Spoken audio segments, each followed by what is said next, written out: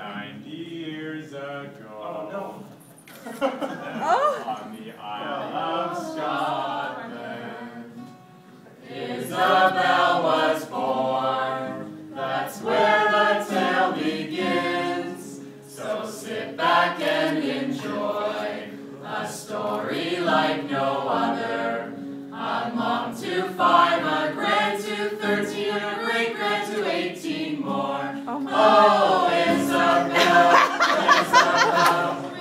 To hear you talking.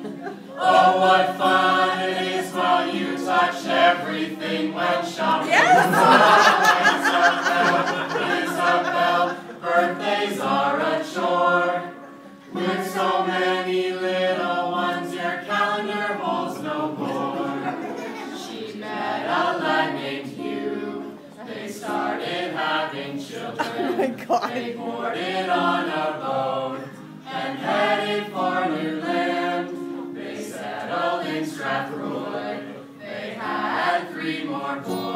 Oh my God. She worked at paint by numbers to flee from all the noise. Oh, Isabel, Isabel, what a lovely gal.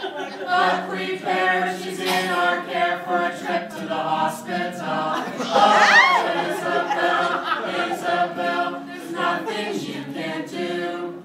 Playing games with babies or flipping a CD.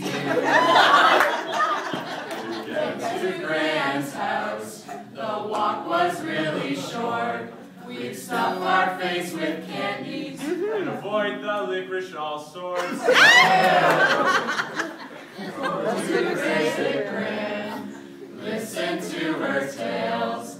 Trying to leave quickly, you will always fail. Oh, Isabel, Isabel, how we love you so. Your wit has always made us laugh, your tales have made us grow. Oh, 90 years. May God bless you, have some fun and